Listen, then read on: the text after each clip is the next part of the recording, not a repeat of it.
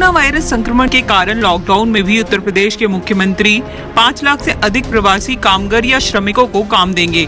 मुख्यमंत्री ने शनिवार को टीम 11 के साथ कोरोना वायरस संक्रमण की समीक्षा के दौरान बैठक में मौजूद अधिकारियों को सभी प्रवासी कामगार व श्रमिकों को रोज़गार उपलब्ध कराने के लिए शीघ्र ही वृहद कार्य योजना बनाने का निर्देश दिया। सीएम योगी आदित्यनाथ ने कहा कि पाँच लाख से अधिक कामगारों की चुनौती को अवसर में बदला जाएगा।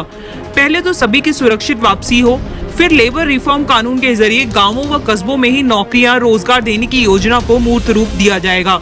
उन्होंने कहा कि लाखों कामगारों का हर क्वारंटीन सेंटरों में ही स्किलिंग डाटा तैयार किया जाए।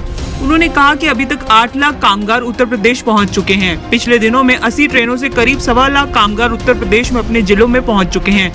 अभी बाकी लोग 35 ट्रेन से आज या कल तक पहुँचेंगे। प्रतिदिन 35 से 40 ट्रेनों से प्रवासी कामगार व श्रमिक प्रदेश वापस आ रहे हैं। सीएम योगी आदित्यनाथ ने कहा कि सभी प्रवासी कामगार श्रमिकों को नौकरी देने के लिए हम लेबर रिफॉर्म कानून ला रहे हैं। लेबर रिफॉर्म से सभी प्रवासी कामगारों को बड़ा फ़ायदा होगा और रोज़गार सृजन की व्यापक संभावनाएँ बढ़ेंगी।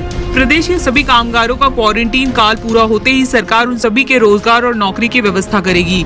इनको क्षमता के अनुसार मनरेगा, ईट भट्टों के अलावा चीनी मिलों और एमएसएमई सेक्टर में रोज़गार देने की योजना बनी है।